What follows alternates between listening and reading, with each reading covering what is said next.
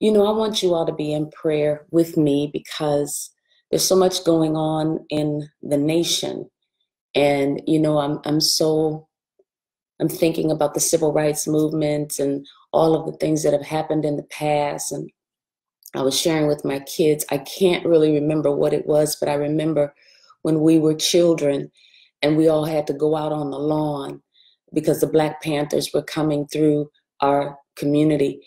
And um, I just remember my grandmother telling all of us, y'all got to get outside, you got to get and stand on the lawn. I don't know what that was all about, but I know that there was a threat to our houses being burned down or something like that. And I must have been, I don't know, maybe I was six years old or something. You're talking about something over 50 years ago.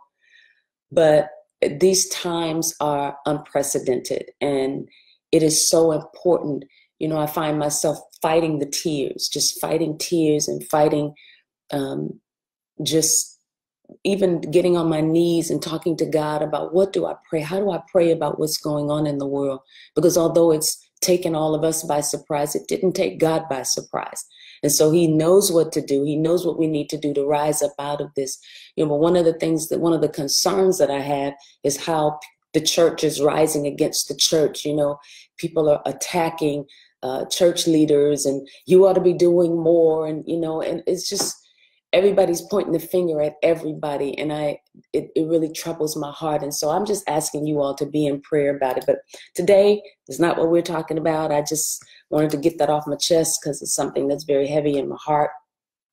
But yesterday we started talking about fear and i used all these synonyms about fear and now more than ever i think it's appropriate to even be having this conversation because i had to fight a little bit of fear myself you know, since we've been in all of this stuff that's been going on. And, you know, when you start thinking about fear, it's important to remember what we said yesterday, and that's that God didn't give it to you. You know, and I don't have time to go over everything that we shared yesterday. So I want to encourage those of you that didn't get a chance, go back and watch the video from yesterday. But this morning, I want to get into some other things about fear, and I want to talk about how fear comes to us and the ways that we open our lives to the enemy. And uh, that's important. We know that Second Timothy chapter 1 tells us to put the in remembrance to stir up the gift of God that's in you. You know, and then verse 7 says, For God didn't give you the spirit of fear. And sometimes we forget the top of that scripture that we're to stir up the gift of God that's on the inside of us, that was placed on us when hands were laid on us or when the Spirit of God came to live in us. Then it goes into saying, For God has not given us a spirit of fear, but of power, love, and a sound mind. So the first thing that you can't do is you can't forget that there is a gift that's been imparted to you. And because that gift that's been imparted to you, that gift is in you so that you can resist the spirit of fear. That gift is in you so that you can walk in power, so that you can walk in love, so that you can walk in a self uh, disciplined or a sound mind.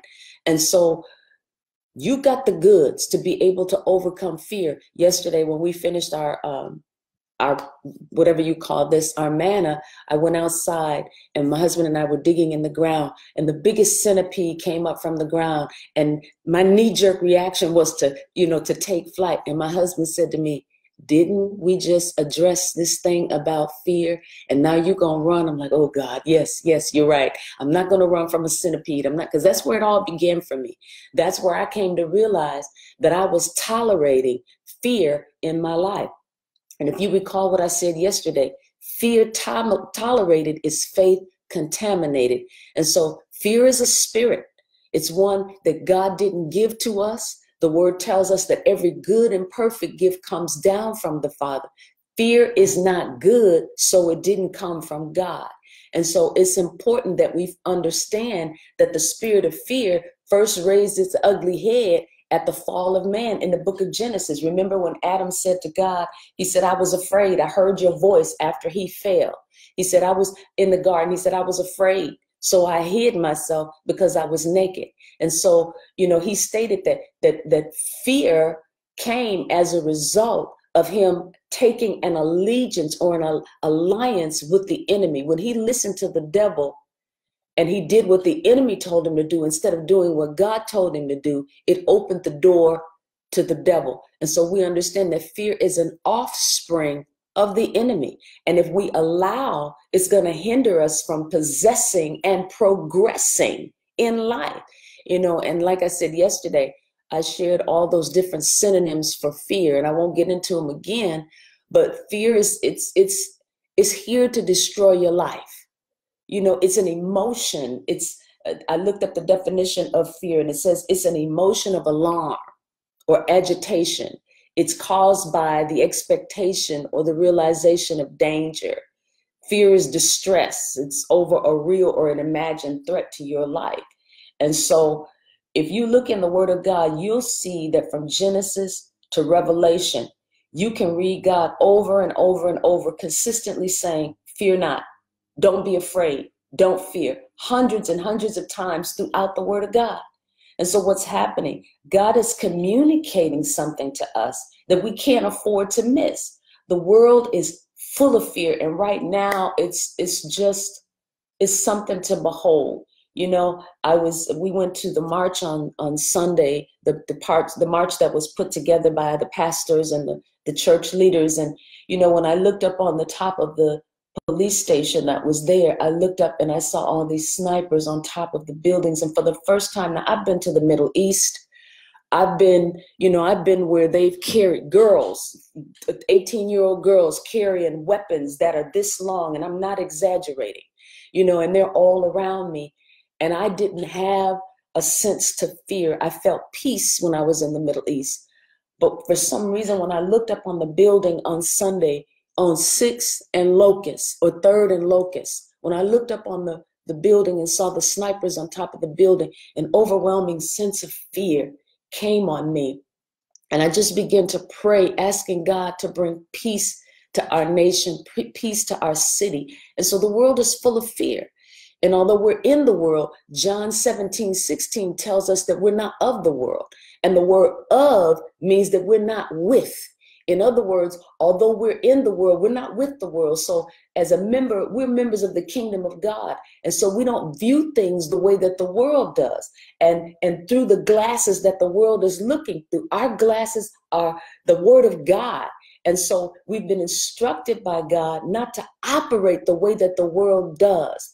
They live in perpetual fear fear of the weather, fear of the stock market crashing, fear of recession, fear of being taken advantage of, you know. And so we can't allow ourselves to be moved the way that the rest of the world around us is moved. And I know that that's a difficult thing because what we want to do is we want to live out the word of God in a practical way.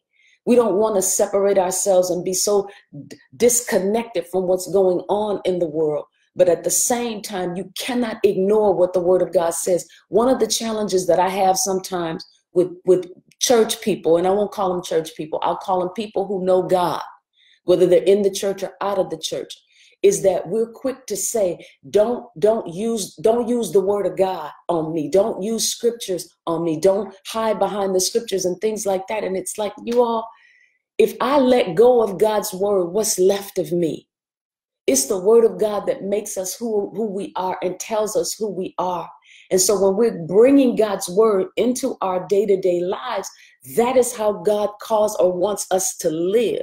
That's how God has positioned us so that we can live successful lives and we can overcome the things that we're experiencing. We, we can overcome racism if all of us would just submit to what God said and love one another we can overcome uh, the fears of the police if we can get an opportunity and not be afraid to sit down and say what it is that we need to say to them and to say to uh, our elected officials and get legislation passed so that we can push the needle and move things forward. And so we want to move ourselves away from fear so that we can make change in our lives. And so we can't fear what the world fears. It's too inconsistent. You can't look at what the world does. Really, all they see is what the Bible has already foretold. They see that we're in the last days, and that was foretold by the prophets of old. And whether they believe in God or not, they see that judgment is coming on people. You know, my son Kyle walked in the house the other day, and I could I could hear it in his throat where he said, Mom, what is this? What is going on? What is God saying? What is the word of God saying?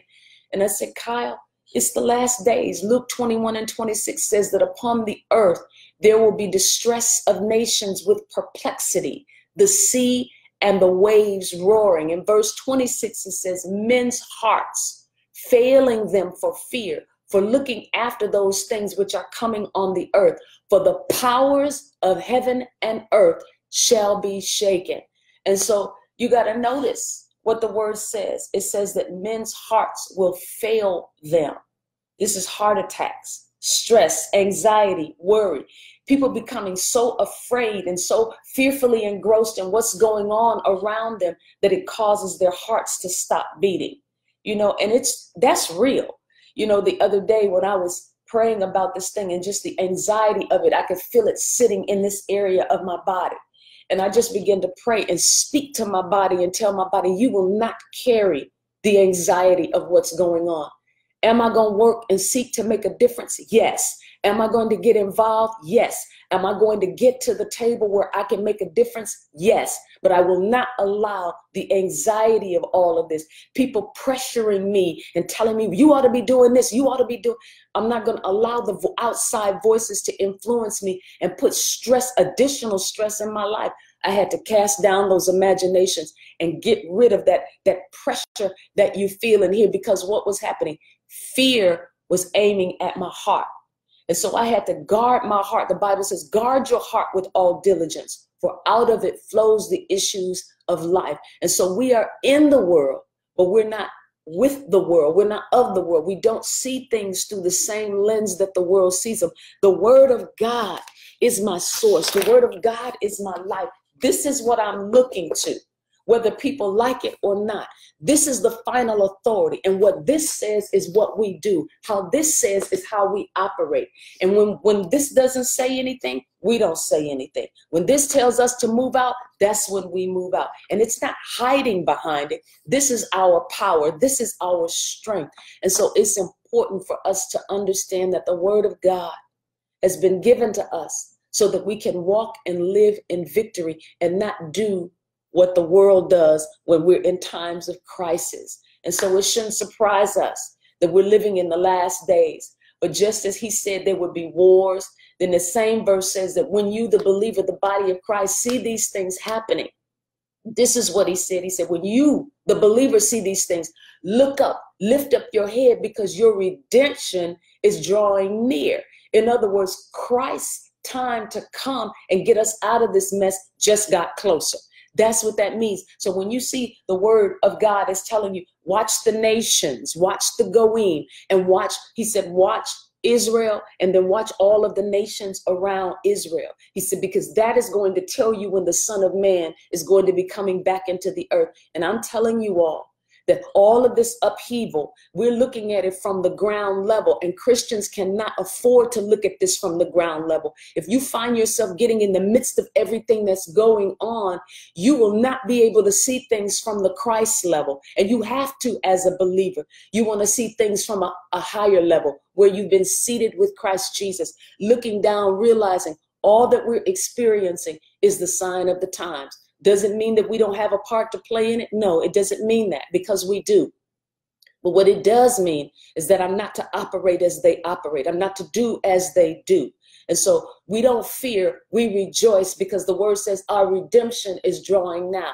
Nigh. So it's like a two-edged sword. I got a sword in one hand where I'm working to bring change to what's going on. But in the other hand, there's a realization that these things have to happen in order for Jesus to come. And so we don't rejoice because bad things are happening in the earth.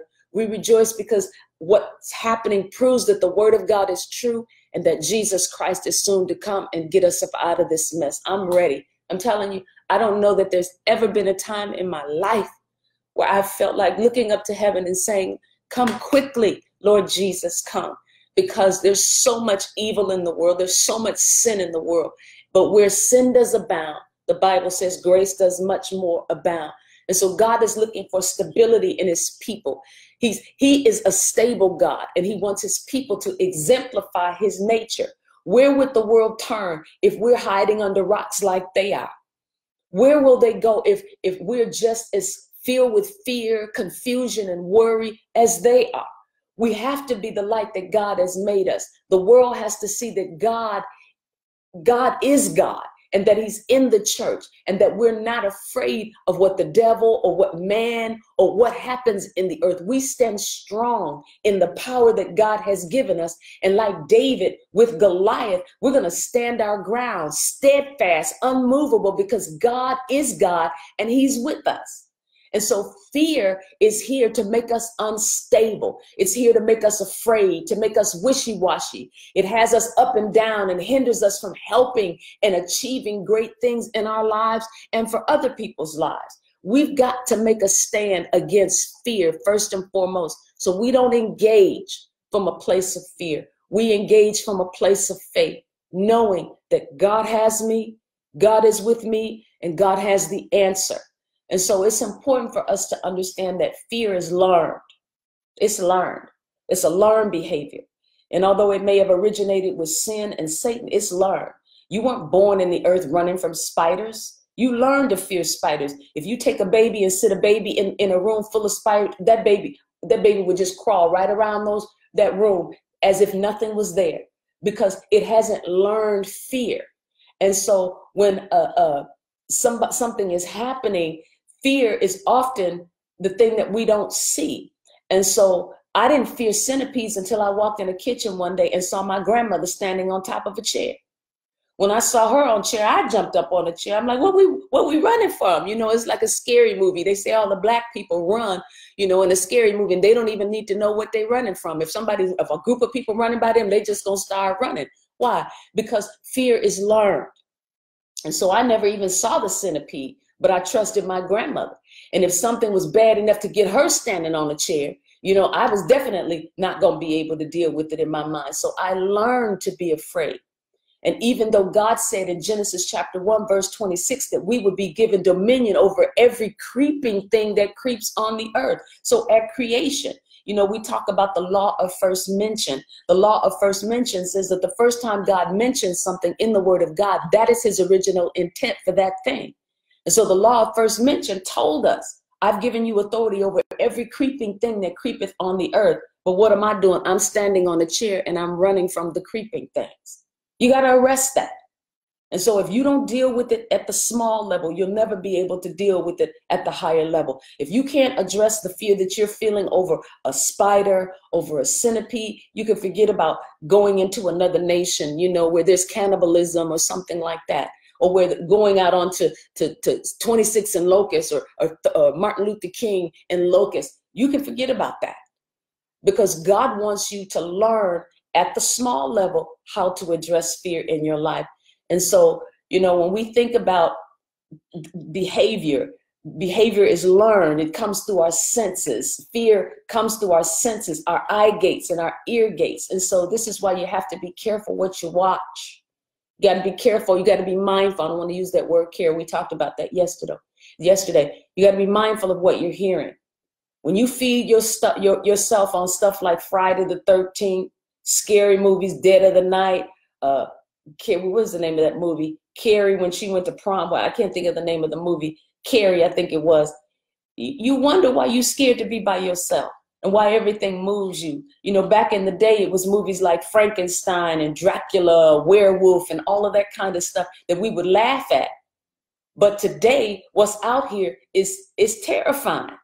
When you can see people mutilating other people, but all of it is designed to inflict so much fear in us that it immobilizes us. Satan wants you to think that he's so powerful, that he's all powerful and that he has the ability to do the all that he does in the movies, but he doesn't. Satan's power is only good when you give place to him. And so he doesn't have the ability to move things in your room unless you give faith to it. You know, and he doesn't have the power. He only has that power through fear. You think about this. You know, when you get to the, the scripture in the book of Revelation, the Bible mm-hmm. says that we're going to look down in a pit and the question that we're going to ask is that's him? That's the one that terrorized the nations? That should tell you who what Satan really is like. that all of us are going to look down in a pit and say, That's the one that we were afraid of? That's the one that we were given all this credit to? Yeah. And if you think about it in the book of Genesis, and maybe I'm getting off a little bit, but this is where I feel led to go. You think about it in the book of Genesis. Uh, the Bible said that, that God spoke to the serpent and he told him, On your belly, you are going to, to go, and you're going to eat the dust of the ground. There's only one thing that gets on its belly and eats the dust of the ground, and it's a worm. And so you think about that. You you think about that. Now I could be wrong, but worms eat the dust of the ground. And so here we are running from someone who gives us thoughts, ideas, and suggestions that he's bigger than what he really is and that he has more power in our lives than what he really has. And so we have to arrest this. We have to we have to uh, understand that God did not give us the spirit of fear. And if God didn't give it to us, I don't have to take this. I don't have to embrace fear in my life. And so we don't want to move our lives into a place where we're constantly thinking about fear because fear is going to have you doing things that you ordinarily would not do. Fear in the mind will have you acting out of things that may not even be true. You're afraid of somebody trying to steal something from you, so you hide it. You think about these children who who grow up. Unfortunately, they grow up and at a time in their lives they have these experiences. And these experiences, you know, some of them have gone without food. And I met a young man who God had blessed him, but he was raised in the foster care system. And there were times when he was in foster care that he never, the, the, the foster care families did not feed him. So he went to bed hungry. Well, today he's probably making a six or a seven figure salary. And um, his fiance told me that, you know, one day she came home, they were living together. And she said, one day she came home and she found up under the bed this, this plastic container that had all this food in it. And she says, she asked him, what is this under the bed for? And he just told her, don't worry about it. What was happening? The fear of going without was dominating his thought life. Now here he's making a six or a seven figure salary. But he, the, the thoughts of fear were dominating his life. And as a result, it had him acting out a particular way. You know, and so you have to be, you got to be mindful of fear. You have to arrest those thoughts the moment that they come. I don't care what they, how they come. The moment you start feeling afraid, you grab yourself and say, ah, ah, ah, God did not give this to me. This came from the enemy. And so, fear, I denounce you. I renounce you. I do not give you place in my heart, in my mind, in my life. I'm not going to talk about you, but I'm going to speak to you. You have no right to live in my life. You're not going to bombard my mind. I fill my mind with the word of God. God gave me a spirit of power, a spirit of love, and a spirit of a self-disciplined mind. And so my mind is so disciplined that I can take it off of the thought, idea, and suggestion that you are giving to me, and I can place it in a higher place on the word of God. And so I cast down this imagination, the thought that you're going to take my life, the thought that somebody's going to break in my house, the thought that somebody's going to kill me, the thought that, that I'm going to be broke, the thought that I'm never going to get a decent job, the thought that my business will never take off, the thought that my ministry will never take off, the thought that my marriage is going to fail, that my kids are going to get on drugs. Whatever that thought, that overwhelming thought might be in your life, cast it down. Don't give place to it. The moment it comes into your mind, bring it down. I remember one time I heard this quote, and I said it to you all before, but it said that a thought that comes that's not articulated will die when it is conceived. It will die at conception if you don't articulate it and if you don't meditate on it. And that's what we want. Every thought that comes to you should not be given birth to in your life. Every thought that comes needs to be looked at. Remember, I told you, like the meat inspector, we are looking at every every inch of that thought and we're asking are you going to add to the quality of my life or are you going to take away from the quality of my life and if you're going to take away from my quality of life you cannot stay you got to go. And in the name of Jesus, I do not receive this. I do not accept this. And so, you know, you, you I was thinking about Elijah when he ran from Jezebel in First Kings, you know, after God used him in the 18th chapter, he worked a powerful thing, killed 400 prophets of Baal. And, you know, God worked in his life and did something really powerful in his life. And then a woman, Jezebel, because he killed all those prophets, one woman came to him and said, by the end of the day, the buzzards are going to be eaten out of your skull. And he ran off and found himself under a, a, a juniper tree, a lone tree, the Bible says, a tree that was isolated off by itself. What happened? His thoughts got a hold of him and he went up under a tree, ran away, went up under a tree. And then when he got up under the tree, he said to God, I'm the only one still serving you. I'm the only one still serving you. All that I've done for you, now he's having a pity party. And so a woman chased him off with her words. Now he's killed 400 prophets, but one woman said something to him that brought him to his knees. And so what am I saying? You know, you you keep thinking on something that somebody said, and you know it's kind of like the, the the the last straw. One straw. If you've been meditating on fear and you've been having fearful thoughts, it could just take one little thing to tip you over. And that's what happened with Elijah. So deal with the thoughts. Deal with the thoughts, you know, because it's important. It's important that we do what we need to do. I want to tell you all this story. I read this article in the New York Times. It was July 26, 1970. It was an article that was entitled Child's Death in London Laid to Fear of Dentists. And this is where a four year old child had a bad experience with a local anesthetic for stitches that were taken from her forehead from a previous incident. After a short time later, she had to go to a dentist. So she fell, she busted her head, and they put stitches on her forehead. And after a short time later, she had to go to the dentist to have some baby teeth extracted. And it's noted that she screamed historically, or hysterically rather, while she was in the dentist's chair. The dentist gave her a sedative to quiet her for the examination. And within a few minutes after having her tooth removed, the child had a heart attack and she was rushed to the hospital where she died two days later.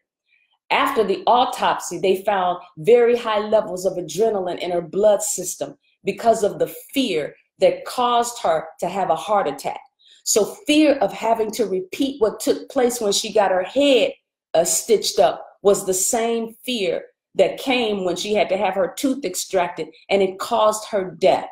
And so you can see the the the the, the the problems that fear will cause in your life, we've got to address it. Because if we don't address fear, it is going to harm us. It's going to have negative effects and a negative impact in your life. And so I just want to say this to you. You got to cast that down every thought and everything that keeps you out of the plan and the will of God for your life. And fear is the number one culprit. And I'm to share the story again about my grandmother as I close. I keep telling y'all this and I'm to tell, tell it until the day I die. I said to my grandmother, Mama, why didn't you ever, what did you ever want to do in life? And Mama said, I wanted to have my own restaurant. And I said, why didn't you ever do your own restaurant? And Mama said, I didn't do my restaurant because I, I was afraid. I thought nobody would help me. I thought it would cost too much. I thought I wouldn't have the money. And I said to mom, I said, You're trying to tell me that you didn't fulfill what was in your heart because you let a thought stop you. You let a thought get in your way. What was the thought? Thoughts of fear, thoughts of failure, thoughts of not making it. And so, what I'm saying to you all, don't let fear stop you. Don't let fear stop you. Move forward. If you got to get help to deal with the traumas of your life, do it. But don't give place to fear. Recognize that fear is your enemy. Fear is not a cousin that should be allowed to live in your house. It's not a family member. Get fear out of your house, out of your life, out of your mind, out of your heart, because its mission is to, to, to destroy your life. So God bless you all. I hope I said something today. I know I got off a little bit, but we want to help you all live your best life. I love you guys. Talk to you later. Bye bye.